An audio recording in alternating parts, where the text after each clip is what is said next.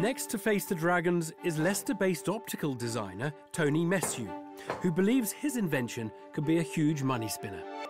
Well, I think it's a great product because it works and it's patented, and so I've got a lot of protection. It could be a, a global winner if it's um, handled the right way. What, what are they? Hmm, some fancy eyewear. Cycling glasses? What are the tennis balls on there for? I came up with this idea while playing tennis and having problems hitting high shots in the sun, and I had an idea for something that would, like a peephole, that would allow you to see the ball even with sunlight. But will Tony's pitch be a clear winner in the den? Hello, Dragons. I'm Tony Messiou. I'm here to seek an investment of £40,000 in exchange for a 20% share in my patented anti-blinding eyewear Sunclipa. Now, US highways research shows that many accidents occur because in the sunlight the driver is temporarily blinded. So current technology just doesn't work fully effectively. The car visors in your car are okay, but if you change direction when in the sunlight, you really should adjust them. And you don't want to be doing that. You want to be focusing on the road ahead. Sunclipa is a low-tech solution to the sun blinding problem. It's basically a clip-on shade that blocks light entirely from unwanted directions, but allows a clear view of directions of interest. Essentially, lights that Sunclipa on and that takes out all the blinding and you take them off and you're uh, so that is Sunclipa so you're most welcome to try it if you want an illuminating pitch from Tony Messiou, who's asking for £40,000 in return for 20% of his anti-glare sunwear range. All right, so here goes. Lights. But in spite of the simplistic design... Okay. Yeah, it does block it. There appears to be some confusion as to what Tony's product actually is. Well, which bit's a sun clipper? The bit with the logo on it. Mine's broken. Time for Peter Jones to clear things up. Tony, I've got my glasses on here that you've given me, yeah? Tony? Yeah, yeah sorry. I've, these are the glasses you've yes, given me. that's the That's frame. nothing to do with your product. That's nothing to do with the product. It's a platform. And your product is this that clips over the top of the glasses, right. which covers a, a, third of the glasses. Yes, that's right. And, and it, it blocks the sun because it's solid. Exactly.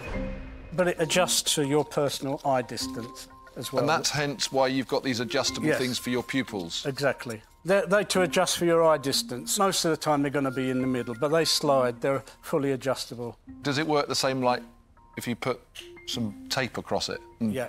Cut a couple of holes in for your pupils, and it'd have the same effect.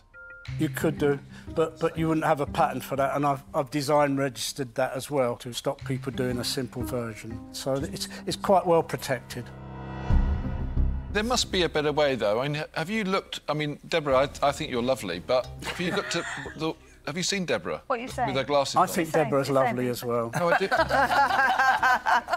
but but they, they don't. They don't look great. Peter Jones casts doubt over the aesthetic appeal of the product. And it seems that Sara Davies also has some concerns over the practicalities of the peepholes. I would be worried driving in these because they're supposed to enhance my vision while I'm driving, yet I would say a good 40% of my vision is completely impaired.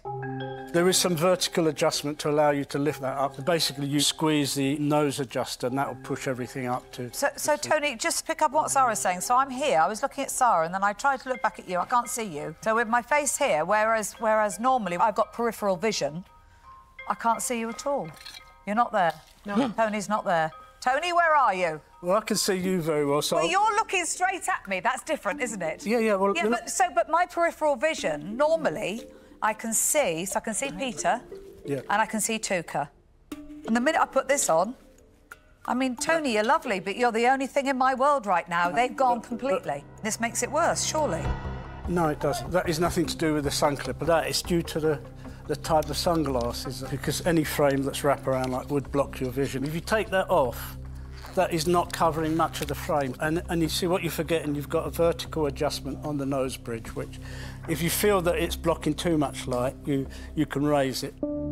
the entrepreneur successfully defends his product against a rigorous cross examination from Deborah Meaden. Touker Suleyman now wants to shift the focus to Tony's track record in eyewear. Just, just give us a bit of background how you got here. Uh, I'm basically running an optical design company for tens of years. Right. I'm a one-man band, but I've worked for major companies throughout the world, including Oxford University, on lighting, virtual reality goggles, anything to do with optics and lighting. I, Right. I've designed it. And something changed in my personal circumstances recently. I became a father for the first time Congrats. Congratulations. when most people are dealing with roses in the garden, let's say. I won't give you any more details, but he's, he's three years old and I, I love him to bits. You're never too old. And uh, I want to make him proud, so this is part of making him proud of me for the, for the future.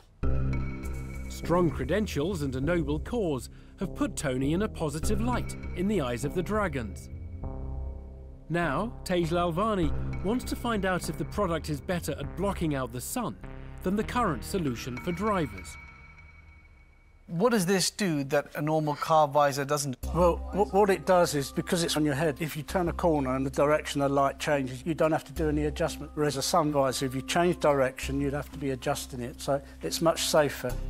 But Tony, when you're driving a car, right, the sun's not always on your No. eyes, right? So the amount of time it takes to put the sun visor down, you've got to fumble, find your glasses from, from the side of the car while you're driving, try and put them on correctly without blinding yourself, and then two minutes later, try and take them off while you're driving. Well, you, you're making an assumption. I, I wear them all the time when I've. You're wearing it throughout your journey. I don't want to be wearing this throughout my journey, even if it's not sunny. I'd rather just use the sun visor in terms of convenience, right? I think you're making too much of that point. There's lots of car accidents that are occurring right now, and the sun visors have been around for a long time, and they're not stopping it. Well, see, I think it may be a good product, but I can't see it.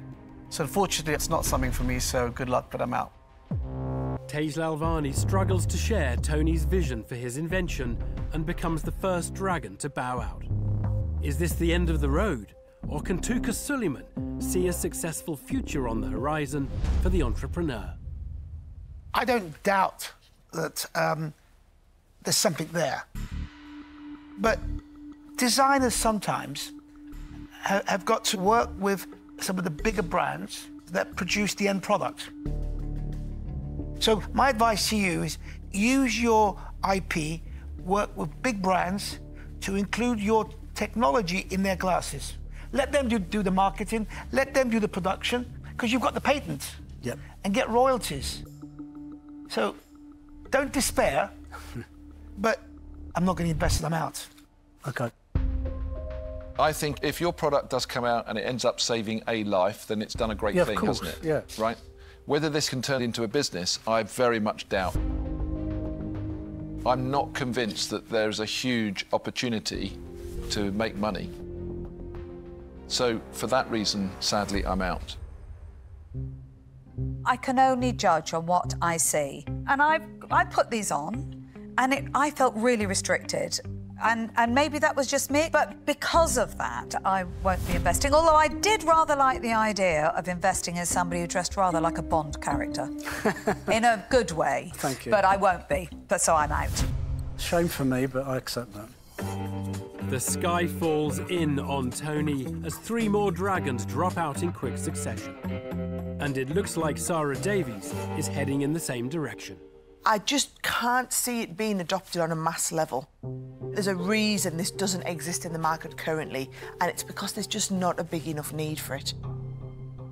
As an investment, definitely not one for me today, so I won't be investing, and I'm out.